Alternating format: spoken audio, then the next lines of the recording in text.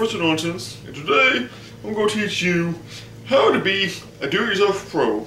Now there's two kinds of do-it-yourself pros you could be. There's the regular kind and the awesome kind. And coming soon, the super awesome do-it-yourself pro. I am just a regular awesome do-it-yourself pro because super awesome's not out yet. But I'll teach you the regular version anyway. In order to be a do-it-yourself pro, right man.